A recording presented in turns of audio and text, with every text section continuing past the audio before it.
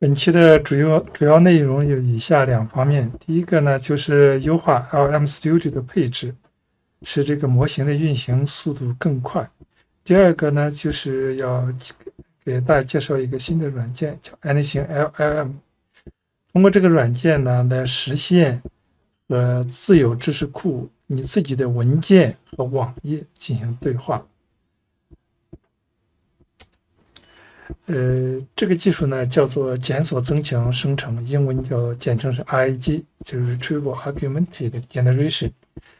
呃，我们新装的这个 Anything LLM，它呢会提供呃一个这个向量数据库，通过它的操作界面，我们把我们自己本机的 PDF 文件、呃 TXT 文件或者 Markdown 文件等等，或者网页，呃。呃，转换到它的向量数据库里面。当我们呃提供呃提出问题的时候，呃，它就会先查询这个向量数据库，通过这个向量数据库获取的相关信息、关联信息，再包含着我们原始的这个问题，要通过 API 接口来提供给这个大模型或拉玛三或者 Phi 三，拉玛三或者 Phi 三，再给出来最终的答案。这就这个技术就是 RAG 检索增强生成。OK，书归正传。上一期视频，嗯，上线之后呢，有一些朋友提了一些问题，其中有个朋友提到呢，自己的 M1 芯片，呃，跑这个 S3 模型啊，呃，跑得很好，速度和这个 ChatGPT 3.5的速度差不多。但是另外一个同样用 M 系列。芯片的朋友，他虽然没有说明他用的具体是 M 一、M 二还是 M 三，他提到说他的速度非常的慢。呃，我就我在我的电脑上呢也做了一些速度方面的测试和验证，来给大家分享一下结果。第一个，我觉得最影响速度的就是这个 GPU GPU offload。像我的是一个集成显卡，如果我打开显卡这个使用显卡的话。我的速度会变得更慢，它它大概只有呃一个 token 左右 speed，看这里的 speed 只有一个 token，而这个四点四五呢，是我平时，比方我把这个显卡呢完全给它调成零，它的速度大概是四点四五。呃，还有一个影响录屏的、影响速度的就是这个录屏。我打开录屏的话，你看现在我是打开录屏的，这个。CPU 也是调到了零，但我如果现在我去问一个问题，比方说三十加十，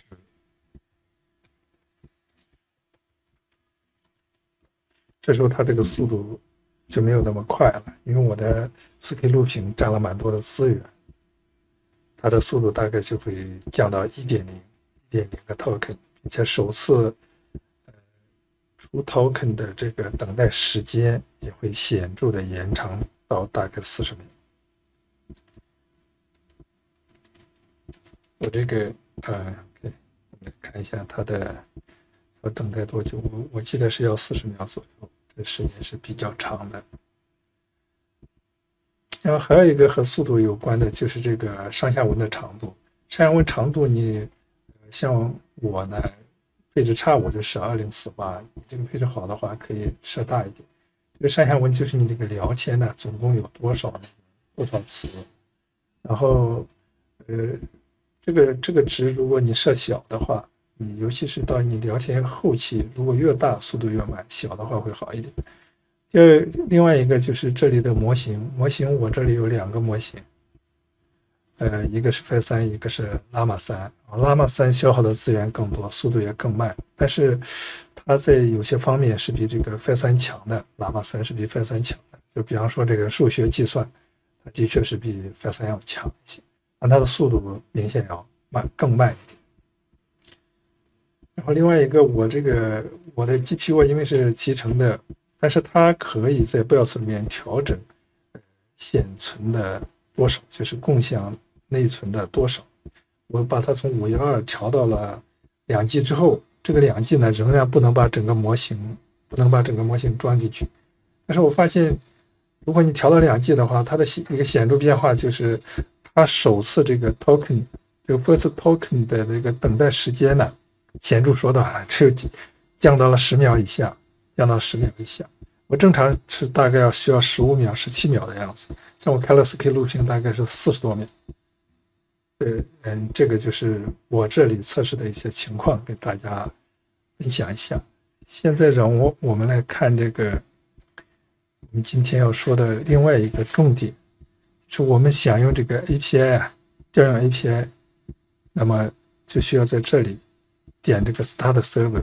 里面一个关键的地方就是这个跨域跨域这个功能，就是 CORS 这个功能呢，你你把它打开。如果你关闭的话，你就只能本机本机用这个 localhost 来访问这个 API 服务。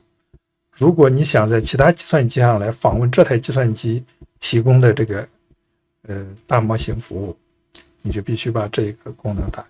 这样的话，你在其他计算机上通过 IP 地址就可以访问到呃。当前运行模型的这个 M Studio 的提供的服务，我们把它这启动。启动之后，这就准备好了大模型的 API。现在呢，我们去下载一个新的软件，这个软件的名称叫做 Anything LLM。这个下载的地址呢，我会放在视频的下方，有需要的到时候去下面去取就好了。呃，这个软件是干什么呢？它第一个就是可，它是一个聊天的，和你的大模型通过 API 进行聊天的一个客户端。呃，但这不是重点，因为很多其他的客户端也都有这个功能。今天的重点是这个客户端它带有一个这个向量数据库，呃，它可以把你本地的呃一些，比方说 PDF 啊、TXT 啊、Markdown 啊等等这些文件，嗯，加载到你的。空间里，然后呢，和这些呃呃和这些文件进行聊天，呃，你问他一个问题啊，让他进行 summary 啊，他都就是总结你这个摘要啊，都是可以做的。OK，我们现在呃先来下载这个软件，下载就是点击这里，这里有一个那个我们我这个是个 Windows，所以说你要是其他的话，你去点。相应的版本，我需要的就是这个 Windows 版本。看这里已经开始下载了。OK，我们把这个过程处理，我已经下载过了。我们来看一下，就是这样一个文件，这个文件大概是两百四十四兆，双击就可以开始安装。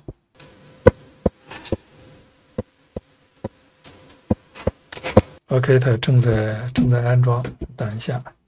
我们今天装的这个软件呢，包括后面进行的配置和使用啊，它都是很简单的，只要稍微有点电脑使用经验的人都可以完成，并不需要呃很多电脑知识，很并不需要专业的知识，每个人都可以做。OK，它已经装好了，我们双击这个图标来运行它。OK，它已经运行起来了。下面是要对它进行一些初始化设置。点击开始，然后输入 LM，找到我们的 LM Studio，选择 LM Studio，然后我们去复制 API 的地址，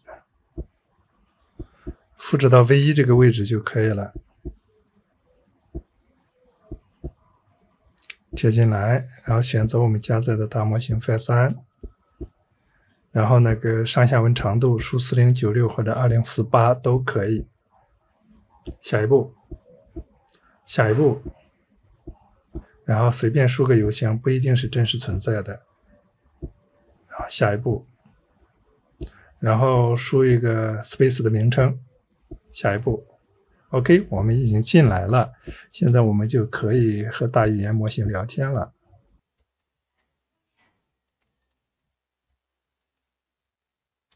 现在我们点这个图标是来上传文件，你看点这里，我们来上传一个文件。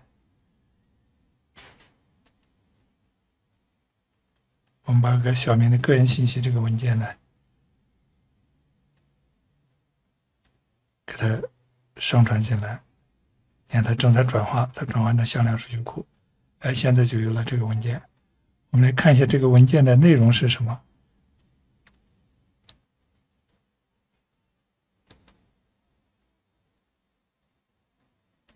这内容呢非常简单，就是小明是一个男孩，出生于二零一五年五月一日。他最喜欢的动物是泰迪狗。他上学是骑着自己心爱的自行车去的。非常简单，就这一点点内容。OK，我们回到回到这里，然后呃上传成功之后呢，选中它，勾选它，然后选 Move to Workspace。就放到自己的这个 space 空间里面，就是從這邊移到这边，我會再点这个 save and embedded 保存并嵌入。OK，保存成功，我们关闭，关闭之后，我们回来，我们来问他一个问题。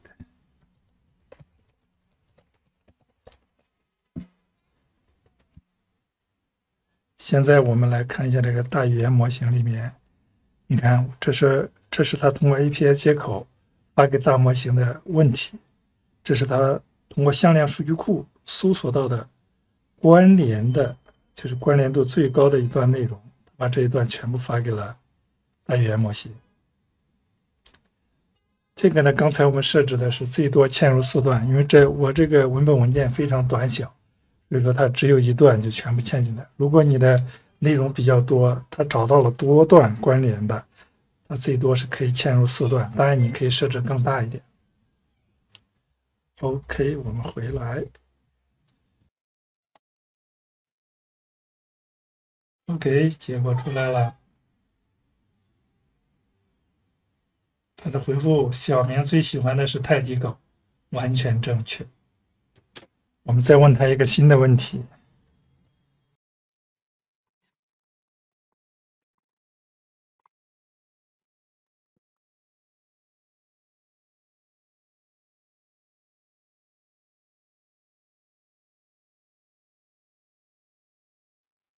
OK，结果出来了。小明出生于二零一五年五月一日，这个他是从这个向量数据库给他的信息里面读到的。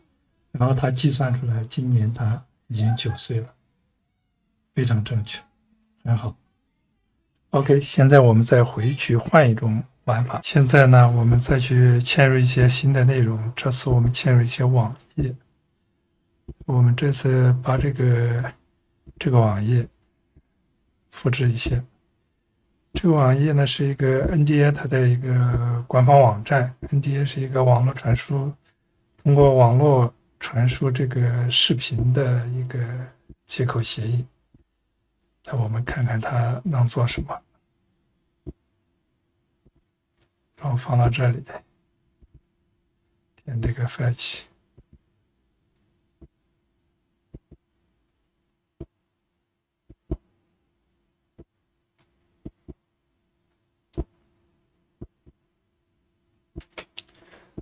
之后呢，选中它。Move to workspace，保存，然后回来，回来，问他一下。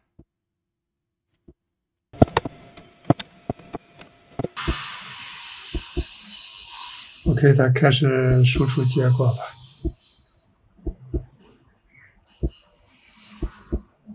这个结果是符合预期的。它确实是从这个网页里面找到了相关的内容，然后生成的。哎，OK，今天就到这里，谢谢。